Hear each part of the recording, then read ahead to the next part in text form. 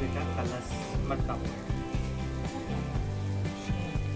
इसको बेटा ऐसे करके दोनों हाथों से नीचे से उठा लो एक साथ ऊपर। Take it fast. ऊपर उठाओ। Yeah. अब ऊपर देख के स्माइल करो थैंक यू अंदर हाथ तो दो बेटा बाल्टी के अंदर दोनों